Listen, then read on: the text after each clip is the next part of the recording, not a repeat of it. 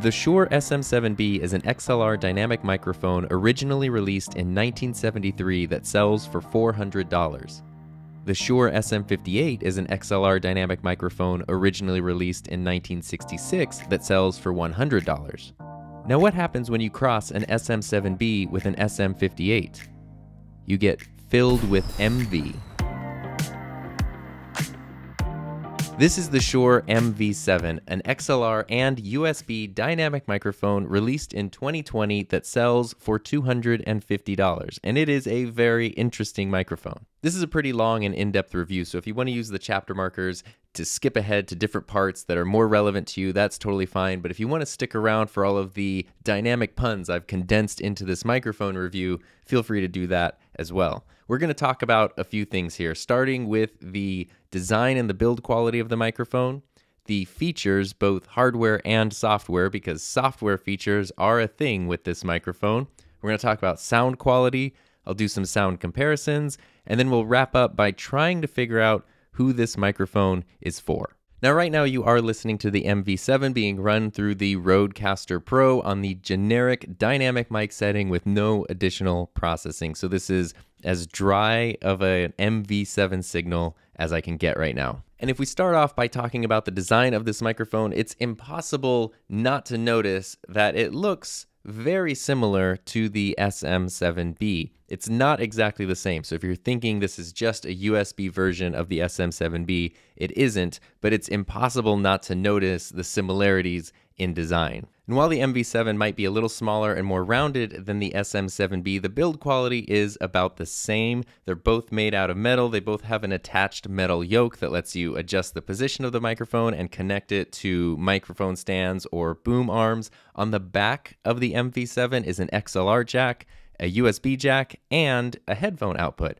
But I need to point out that the USB jack is a micro USB jack, which completely surprised me because I just assumed that this microphone released in 2020 was a USB C microphone because that's what made sense. But of course, because it was released in 2020, that means it can't be perfect and it has micro USB, which to me is completely crazy. And I have a feeling the only reason they included that was to reduce costs. I'm guessing including USB C and a USB C cable probably would have been a little more expensive, but it absolutely would have been more future proof I don't like that I now have to have another micro USB cable to keep track of.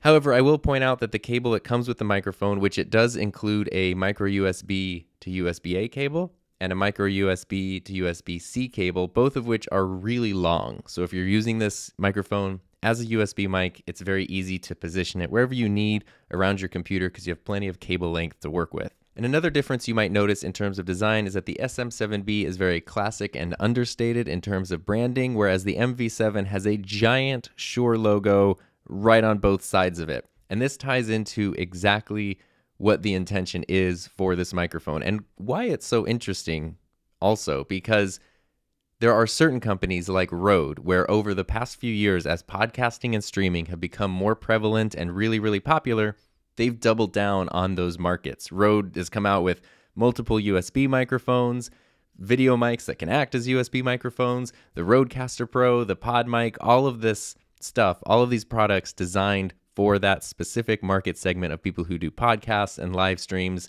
and that whole genre.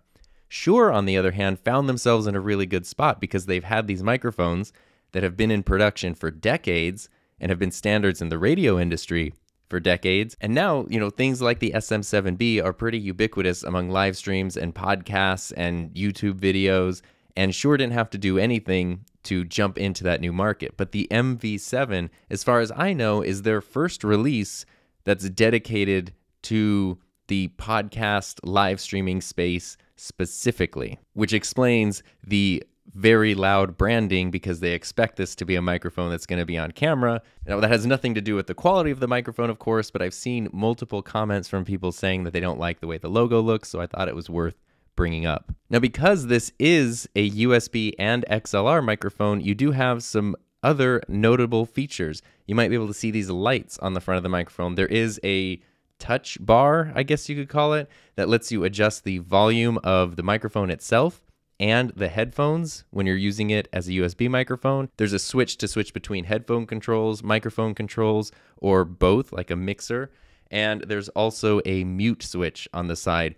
These controls only work when the microphone is being used via USB. If you only have it plugged in through XLR, these don't work at all. But they're pretty neat because they're very touch sensitive so you really don't need to put any kind of pressure on them to control the microphone, which means like if you need to mute it while you're recording, you can just touch the mute button very lightly and it will mute. Other USB microphones like the Blue Yeti, which I really like and I think that's a great USB mic, have a physical mute button, which is very handy and it works pretty well, but sometimes the little click from the button definitely becomes audible in your recording or on your stream or however you're using the microphone. This one lets you be very gentle so that way you can adjust these settings without it becoming noticeable to your recording. And I talked about the yoke of the microphone that lets you mount it to a stand a second ago, but one thing that's very interesting is it looks shockingly similar to the one from the SM7B, but there's a pretty big difference, which is that the SM7B has this really cool feature where the bottom of the yoke twists independently. So you don't have to twist the microphone around to connect it to anything. You just have to twist this little end part to attach it to whatever you're connecting it to. And that's great because then you don't have to spin your very expensive microphone around. And it also lets you have the microphone connected to whatever cable you're using while you're attaching it to whichever stand you're using. But the MV7, on the other hand, looks like it has this exact same feature, but it does not. If you want to attach this microphone, you have to twist the microphone itself or twist the stand itself. Not a big deal, but just kind of annoying. The other issue I have with the mounting option is that they had the opportunity to do something very convenient and they didn't, which is on the bottom of the yoke, there's a mount for a standard microphone stand, like these tabletop stands I'm using right now. But if you want to use the microphone with like a boom arm or something that has a, I think it's a 3 8 inch connector, you need to use one of these little adapters, which is included with the microphone. But these are a pain to use, they're a pain to take in, put out. The Rode PodMic has a similar connector, but the outer part is designed for that standard microphone stand, but inside there's another diameter that's for that 3 8 inch connector. So if you're using this on a tabletop stand, you don't need an adapter. And then if you want to put it on something like a boom arm that has that 3 8 inch connector, you also don't need an adapter. And that is incredibly convenient. The reason I'm frustrated that the MV7 doesn't have that is because it almost does. It looks exactly like the pod mic, except the part of the microphone where they could have machined in some threads for that 3 8 inch connector, they just didn't. It's there, the diameter is there, but there are no threads. And so now you can't use it. I feel like that would have been a really simple feature to add that would have built in a lot of flexibility to this microphone. And then the other big thing in terms of design is the capsule itself. So if you look at the front of this microphone, trying not to ruin it while I'm speaking into it, it looks similar to the SM7B. The SM7B has its standard windscreen, which kind of clips in and then you have to unclip to take off. And then inside you have this metal housing and then the capsule in there. So it's very protected. It really works well as a windscreen because you have this metal grid plus the foam windscreen. The MV7 is entirely different. So this is where if you think this was just a USB version of this microphone. It's not. If I take off the windscreen, you'll see that this microphone looks entirely different. The capsule is really like a hybrid of the SM57 and the SM58. It's super robust and really well built, but it's definitely a little bit different. It doesn't reject plosives as well as you can kind of hear pa pa pa. But it's just one of those things that shows you this microphone is definitely its own thing and it's not just an exact copy of an existing microphone. And that does bring me to the windscreen on this $250 microphone. It is a very cheap, cheesy windscreen that I don't actually even think works that well. It's not nearly as nice as the one that comes with the SM7B. In fact, if I can find it, you might have seen my video about the Neewer NW800, which is like the cheapest condenser microphone I could find on Amazon. This $25 microphone came with an ultra flimsy windscreen to go over it. It's basically the exact same windscreen as the MV7. This one has kind of been like in a cupboard for a while, so it's a little lopsided. But if I put the windscreen from my super cheap $25 microphone on the MV7, you can see it's almost the same as the one that actually came with it. I put the Shure one back on.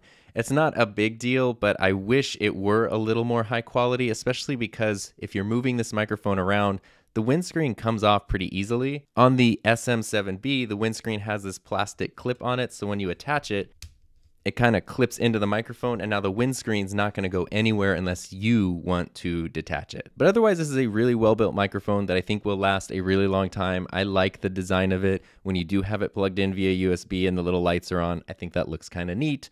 It's definitely a more futuristic offering than we've seen before from Shure, and you can be sure about that. Get ready to hear that pun like 10 times in this video. So now that we've covered hardware, let's talk about software. I'm going to get the SM7B out of here for just a few minutes. Don't worry though, it'll be back for some comparisons. Now, the software, of course, as a USB microphone is where this starts to offer some new stuff that we haven't seen before from Shure. The first thing that you might notice is coming out of the microphone right now, I have an XLR cable and a USB cable, and I am recording simultaneously. I don't think this is something I would use very often, actually, outside of recording this video where I'm going to want to compare XLR versus USB audio quality, but it does give you the flexibility of, I guess, adding a little bit of backup. Typically, if I want to back up an audio recording, I have the XLR cable going into the Rodecaster. The Rodecaster is recording, then I have that connected to my computer where I can also be recording there. So if I'm doing something really important that I want to have a double recording of, that's normally how I do it. It is very cool. That's a feature that exists. And if you are using the microphone via USB, then you can also use the headphone output to monitor your audio and your sound from your computer. I'm not doing that right now because I have my headphones running into the Rodecaster because I'm going to bring in a couple other microphones in a few minutes to do some comparisons. Now, there is an app called ShurePlus Motiv that you'll need to download to get the most out of this microphone. There's a desktop version and a mobile version, but even though this is a USB microphone, and even though it comes with a micro USB to USB C cable, it does not currently work with the USB C iPads. But it does work with USB C Android phones. So I think that's something that they're going to need to address in the future.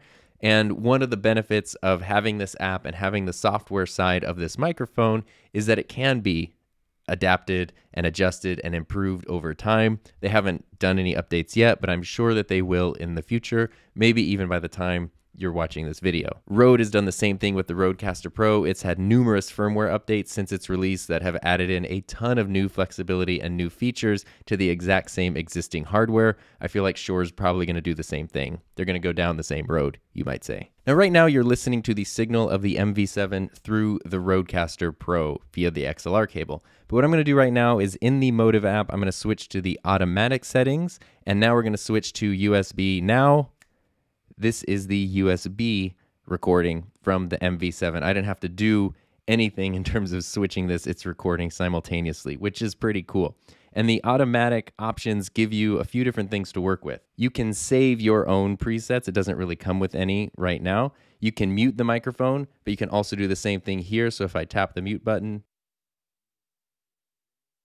untap the mute button, then it is unmuted. Since I'm set to automatic, the scroll wheel to adjust the volume doesn't work, doesn't really do anything on the microphone, but you can also mute the mic from right within the app here. And then the monitor mix is pretty interesting because this lets you mix what you're hearing in your headphones from the microphone via like how much of the playback you're going to hear or how much of the mic you're going to hear. So if you're if you have sound effects, if you have music, if you have something else that you're recording your voice over, you can adjust that mix. Do you want to hear more of your microphone? Do you want to hear more of the mix itself? And that's some cool flexibility.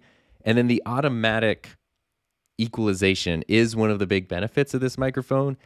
If you're brand new to this, it gives you a few really simple options. One of them is the near option, which is really about a few inches from the microphone, maybe like a fist's distance away.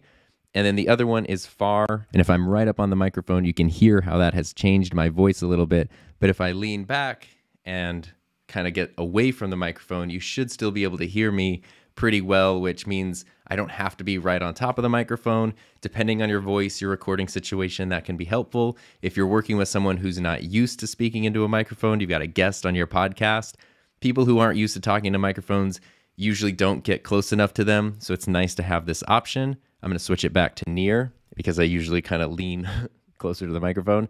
And then you also have tone options. So natural is kind of the most neutral option. Dark is going to bring in some of that bass, and then bright is going to get rid of some of that bass and go more towards the high end. And in fact, this might be a good spot to do a few comparisons. So I'm going to switch this back to natural. Let's bring in the SM7B. So now I've got the SM7B running through the Rodecaster Pro, and I've got the MV7 here. So this is the MV7 on near and natural, and this is just the dry signal of the SM7B. What I'm going to do now, though, is switch the MV7 to the dark mode. So now this should have bumped up some of the bass. The SM7B is pretty well known for having nice, rich low end. And now this is what the SM7B sounds like alongside the MV7. So you can hear both of these microphones. Maybe we could even do some of the pop filter tests like Peter Pepper pitched a podcast. Peter Piper pitched a podcast. Peter Piper pitched a podcast. You can also hear some of the directional rejection. If I turn the SM7B, I kind of stuttered there, you can sort of hear how it changes as I'm in front of the microphone or going away from the microphone. And the same is true for the MV7. I can turn it away from me and you can hear it's rejecting that sound. And if I turn it towards me, you hear more sound and it goes away and you hear less sound. And just for the sake of comparison, let's bring in a pod mic. The reason being that it's a much more affordable microphone at $100, but also because the pod mic tends to have a sound that leans more towards the higher end. So now on the MV7, if I switch it into bright, and then I also talk into the pod mic. Now you can hear both microphones. This is the pod mic, and this is the MV7. sounds like there's still a bit more low end on the MV7, but they're not too far apart. I think they work really, really well together. Again, though, $100, $250, that's a pretty big difference. And if you didn't watch my video, I do normally use the pod mic with this big WS2 windscreen. And that really helps reduce some of those plosives, but also reduces some of that high end. So now I think with this windscreen and the MV7 set to the bright setting, these two microphones pair together pretty darn well. Now I should mention, while you can't use the slider on here for controlling the volume when you're in automatic mode, if you hold your finger on the microphone slash headphone button for a few seconds, you can adjust that playback monitor mix. The orange represents the headphones and the green represents the microphone, so you can adjust that mix.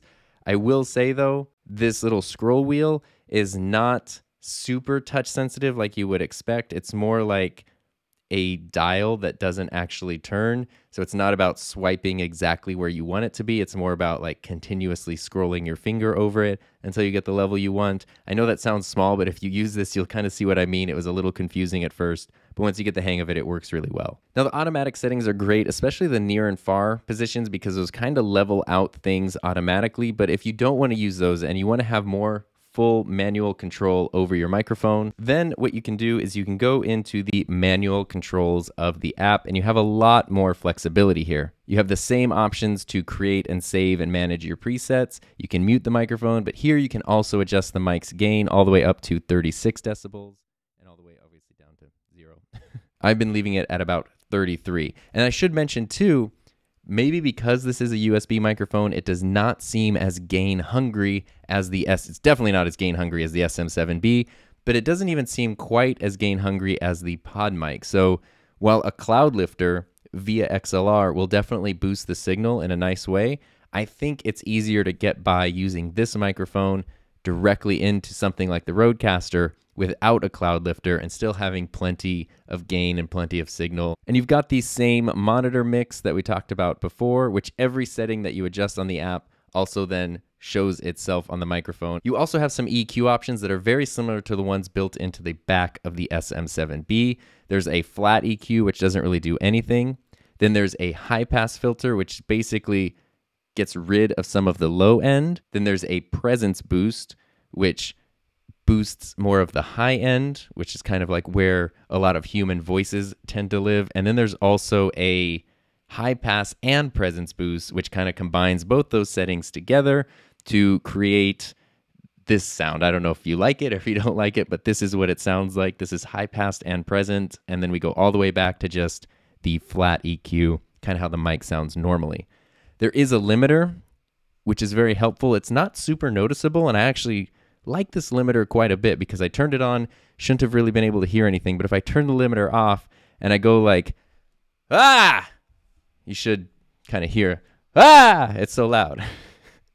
if I turn the limiter on and I go like, ah, it should try to compress that so that way you don't end up with, ah, like as much peaking as before. So if you're working with somebody who has a lot of volume shift in their voice, or you're doing a podcast where you're just so hilarious and people are laughing really loudly a lot, you might want to use that limiter. There's also a compressor built into the app. So, this right now, the compressor is off. This is light compression. This is medium compression. And this is heavy compression. So, this is much more of like that traditional broadcast tone, I guess you could call it.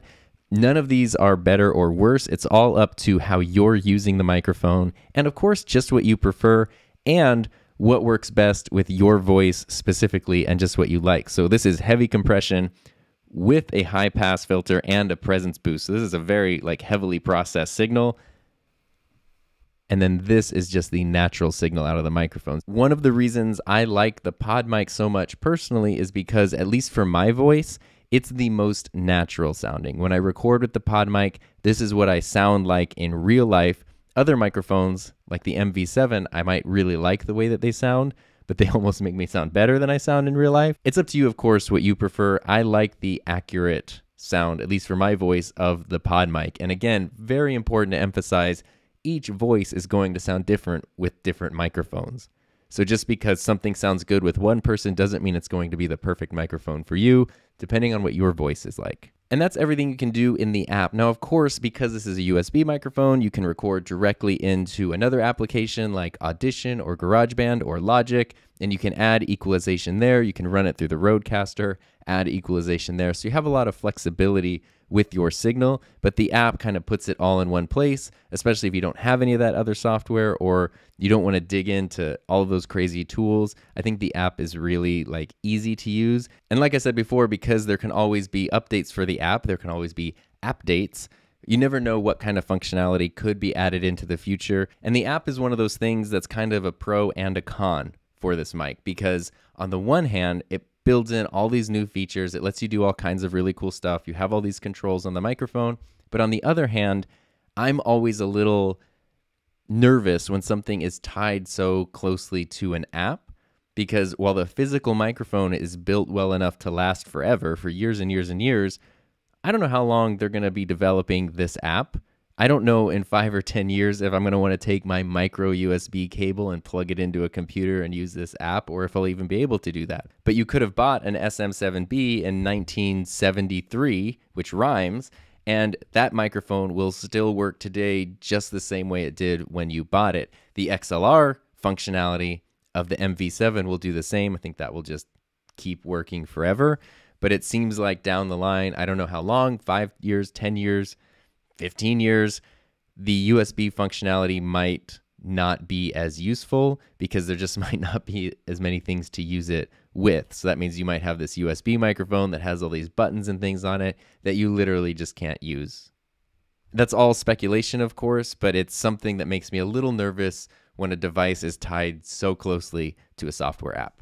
So now let's talk about audio quality. And I look like I'm at a press conference from the 1980s. I've got a few things for comparison. Of course, the MV7 is right here in the middle. The SM7B is on my right, your left. And the Rode Pod mic is on my left, your right, with the big windscreen because I really recommend using the Pod mic with the windscreen, even though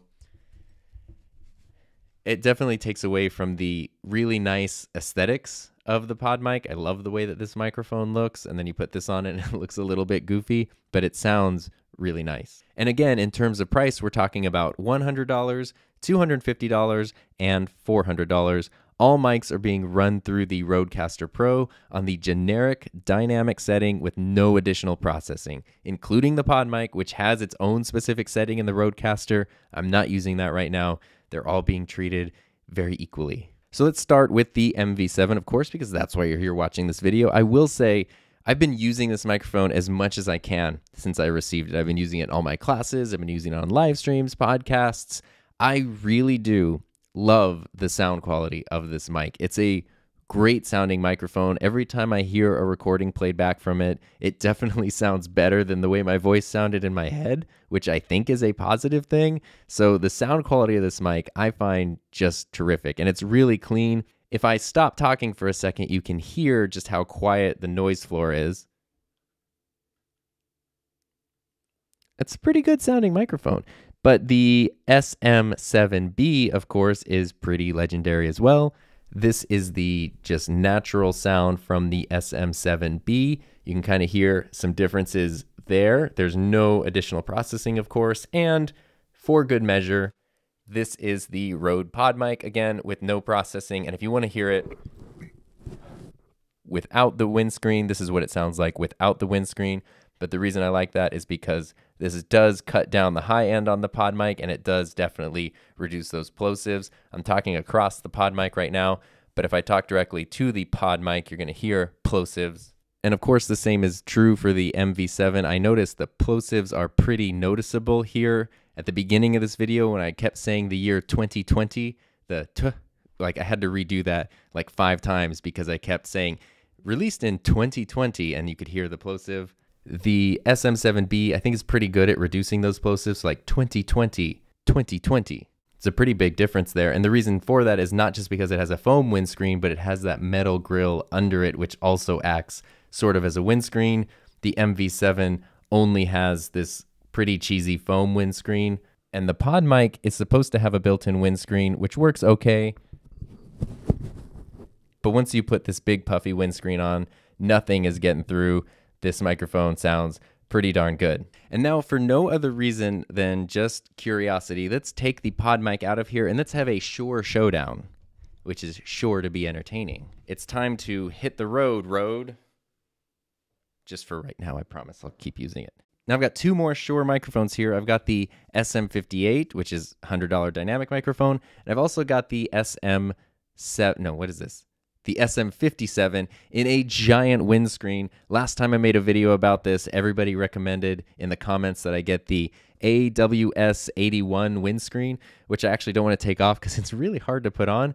But this windscreen completely changes the Shure SM57 for vocals. It is like a 30 or $35 windscreen, so it makes this $100 microphone a $130 microphone. Now, of course, even though these are $100 microphones, they don't have built in yokes or connectors or anything. They do come with a mic clip. And now this is the Shure SM58, which is just sort of the classic microphone.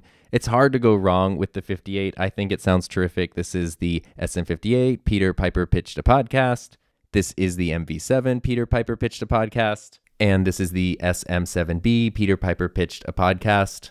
The 58 is always a good option, especially if you're going to be using your microphone not just in studio, but potentially like out in public or on stage, or you want to do singing and talking and a whole bunch of different stuff. Not that you couldn't use these microphones, are amazing also for vocals and singing and stuff, but the 58 is just sort of the all around workhorse, like renaissance man or woman of microphones. But let's then look at the SM57, which I have found so interesting with this windscreen. I think that with this windscreen, the SM57, which is normally very susceptible to pops and plosives, you can just like pa pa pa pa pa, and nothing is going to get through all day long. It also just rounds out the sound and makes it sound really full. So again, this is a $100 microphone with a $30 windscreen. This is the MV7. This is the SM7B, the Shure SM7B, and the Shure SM57. I made a whole video about these two microphones working together really well if you add a windscreen over here. Oh, and I should have, sorry, while I was using the SM58, I should have used its windscreen because it usually does come with a little windscreen. So Peter Piper pitched a podcast and Peter Piper pitched a podcast. Definitely makes a difference. Great for voice. Uh, th- these windscreens too, if your SM58 doesn't come with one, they're really cheap, like $10 or something to buy. So you have all kinds of different options here. But what I wanted to highlight was just how these $100 microphones sound when compared with a $250 microphone or a $400 microphone. So let's just wrap up with all of these microphones here that we've talked about today, just for some reason, because there are so many microphones here right now. Where does the MV7 fit and who is it for? So it sounds great, it has a lot of cool features, but personally, I think that the $250 price tag is its biggest downfall. For $200 with all of that USB and app functionality, I think this would be a very easy microphone to recommend. 250 in the world of microphones isn't that expensive. There are mics that cost thousands and thousands of dollars. But the target audience for this is clearly somebody who's doing podcasting and live streaming. And most of the people I know in that realm are doing it on the side. They're doing it as a hobby, they're doing it for fun, they're doing it as a part time thing. And $250 for a single microphone is kind of pushing it. I feel like a lot of people I know personally might want to jump the extra 150 and go for the SM7B, or more likely, spend less money and get something like a pod mic, or if you want to stick with Shure, going with like the SM58 or the 57. For the price of one of these microphones, you can get two pod mics with the big puffy windscreens and have a perfect interview podcast setup. And these are only XLR microphones, but they're built to last a lifetime. And I think all of these Rode and Shure microphones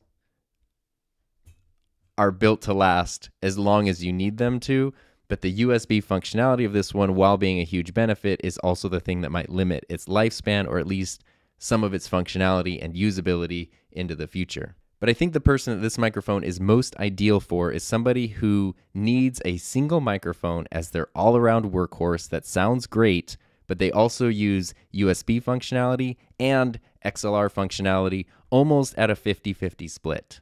Because if you just need a USB mic, there are so many great options in the $100 price range. Get a Blue Yeti, get a Rode NT USB, something like that. Get the Samson Q2U, which is like kind of an SM58 that has XLR and USB functionality. There's a ton of options in the $100 or under price range. If you just want an XLR mic, get a pod mic, get a 58, get a 57. There are so many options again that are cheaper. So I think that if you're going to spend the $250 on this microphone, it should be because you're going to use both features. And that is a realistic scenario. Maybe you use it as a USB microphone for your job or something while you're doing like teleconferencing. And then on your off time, you do a podcast or a stream and you want to plug in the XLR connector with some other microphones and use it that way. That actually makes sense. What I absolutely wouldn't recommend, unless you just love the sound so much, is buying multiple of these for a setup. So, like, I have my two pod mics as my podcast setup, and I did that specifically so that when I'm talking with a guest on my podcast, we can be using the same microphone and everything sounds the same. I wouldn't do that with this because then you're going to end up with two or three or four USB slash XLR microphones, and you're never going to use four USB microphones at the same time. With most computers, that's not even something that's possible to do, much less practical. So while this is a great mic in terms of audio quality, the price and the functionality make me a little confused about who it's for, but I still wouldn't be surprised if you start seeing these popping up in a lot of podcasts and a lot of live streams because it is a great microphone.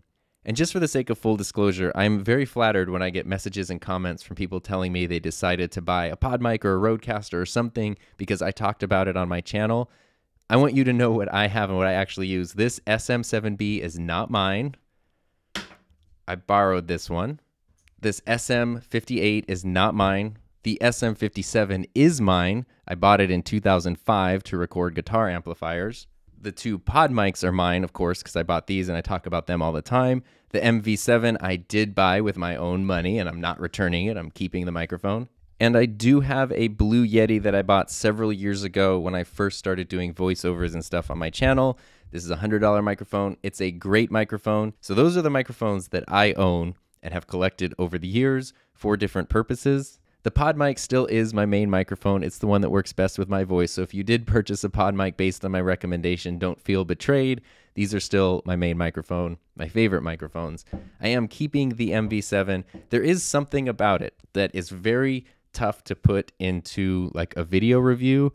There's an intangible thing about this microphone that is very fun to use. Something about it, recording with it, setting it up, using it.